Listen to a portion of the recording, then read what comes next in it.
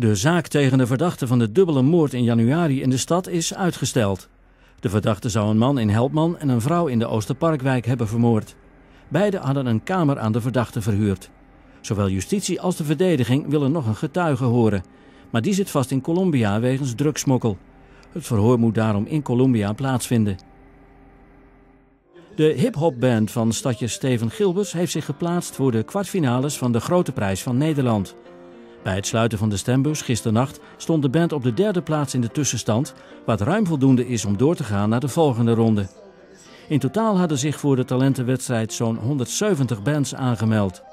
De tien die de meeste stemmen vergaden op de website van de Grote Prijs gaan door naar de kwartfinales, die volgende maand gaan plaatsvinden.